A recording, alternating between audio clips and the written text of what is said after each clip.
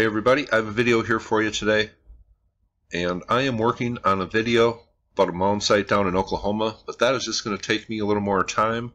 That's going to be one of my more extensive videos coming from ancient America but I wanted to talk about one today because this was brought to my attention um, over the past few weeks and then I got a more detailed message and I had actually looked at this about three or four weeks ago and I thought this was fairly weird, and then I just went on to other sites.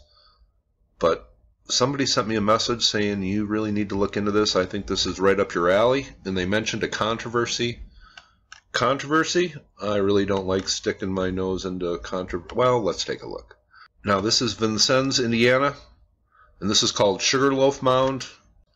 And we are just going to go down and take a peek at it. And I looked at this about three or four weeks ago, and I thought this was pretty weird. I didn't think there was anything strange about it. Obviously, an ancient sacred mound type structure that we have been looking at for a long time. Right in the middle of a neighborhood. That was pretty strange. This is called Sugarloaf Mound. I had one message saying, hey, look into Sugarloaf Mound.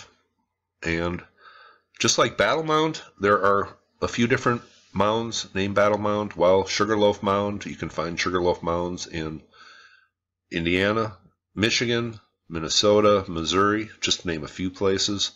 There are mounds with the same name. Now here is a website, Historic Vincennes, Indiana, Knox County, Indiana. Sugarloaf Mound is a natural landform, but was used by woodland-era Native Americans as a burial mound. Huh? But what do the historians in the region call this? They call it a loess hill. I think that is how you pronounce it.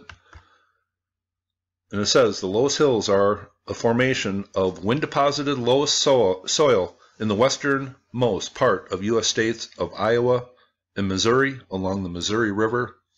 And these are the Loess Hills. And I think that's how it is pronounced.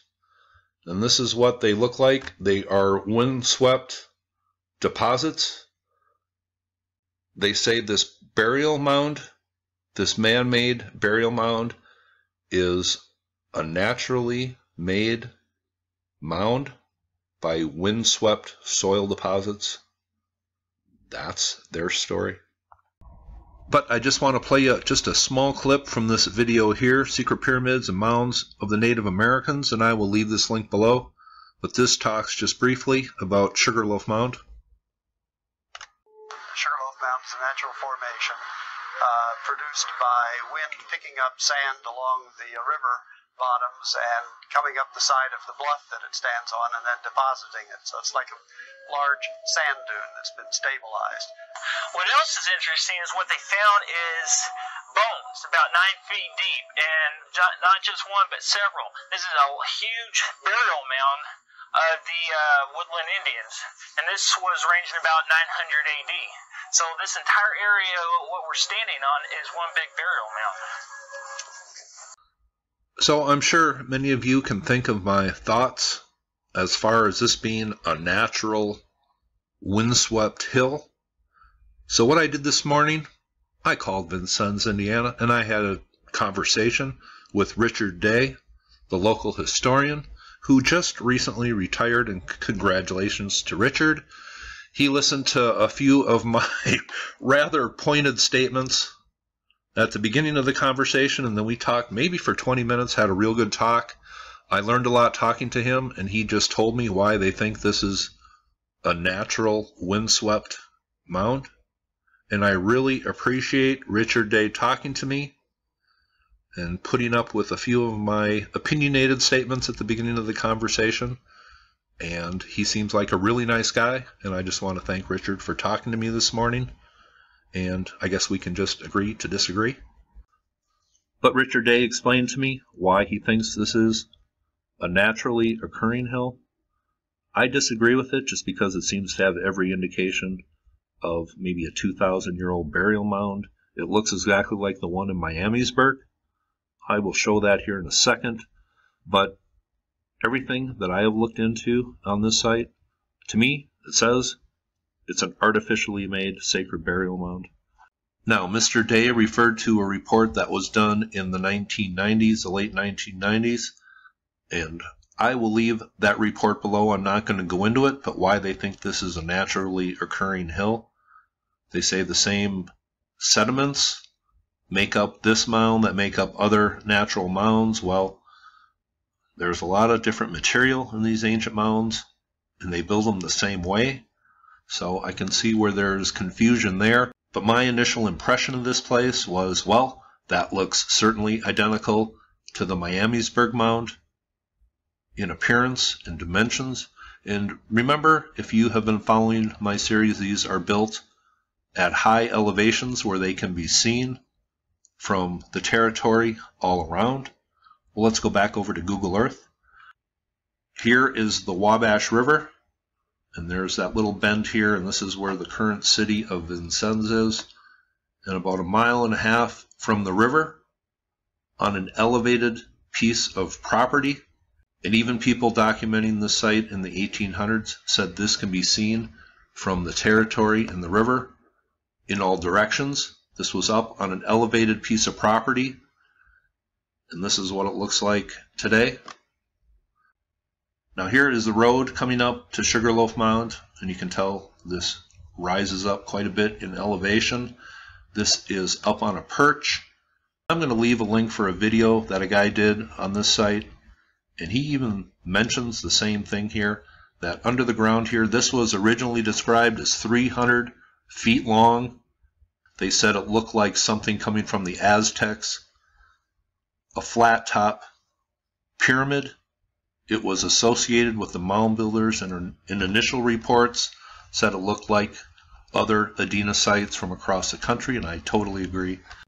Now, early reports of this site and drawings of this site, here is what was documented. There's a drawing with a man standing on top, and they said there was an area up here cleared that was flat and that comes from a long time ago. That wasn't recent. Here is one of the earliest pics, I guess we have. And this clearly states this comes from the early 1900s. Sugarloaf Mound built by prehistoric mound builders, Vincennes, Indiana. And that was the standard line on this place. This was a prehistoric mound built by an ancient civilizations, and then it all turned in the late 1900s. But fairly non-intrusive excavations were done in here, and at about eight or nine feet down, there were bones found, and that's exactly like it was. If you remember how I described my Miamisburg excavation work that was done there, found at the same depth. I believe these are the same structures built by the same people. But what happened to some of these things that were found here? A long time ago in excavations? Well, Mr. Day explained to me that I believe they were given to the governor around 100 years ago, and where they are today is kind of a mystery. Now, if you go to Wikipedia on this site, it describes it as Pyramid Mound, and I guess there are two locations.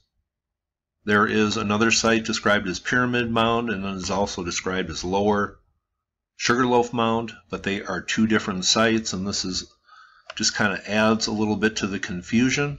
But it says the survey conducted by Illinois State Museum in the early 1960s demonstrate that the region surrounding Vincennes was a homeland of a Mississippian group of people at, known as the Vincennes culture. So we have a lot of different names. It says based upon the published results of the 1874 Smithsonian Survey, an amateur antiquarian writing in the 1890s remarked on the relationship of Pyramid Mound to larger archaeological sites in the east central United States.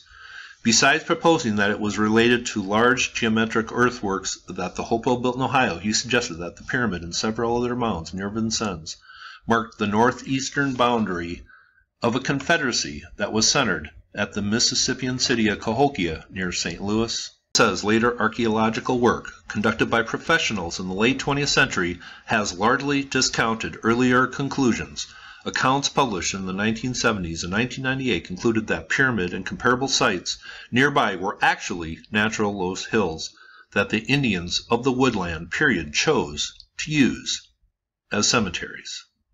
But I don't think prevailing winds could shape river silt a mile and a half from the river into a perfect conical earthen pyramid.